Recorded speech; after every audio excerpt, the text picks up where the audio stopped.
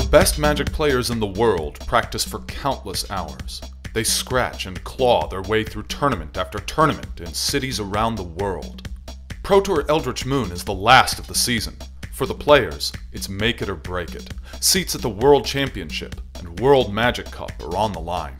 With Eldritch Moon poised to impact standard, our moment has come to witness who's good and who's great. Tune in to Pro Tour Eldritch Moon on August 5th through 7th on twitch.tv slash magic.